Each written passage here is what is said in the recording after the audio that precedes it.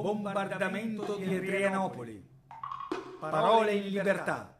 Filippo Tommaso Marinetti.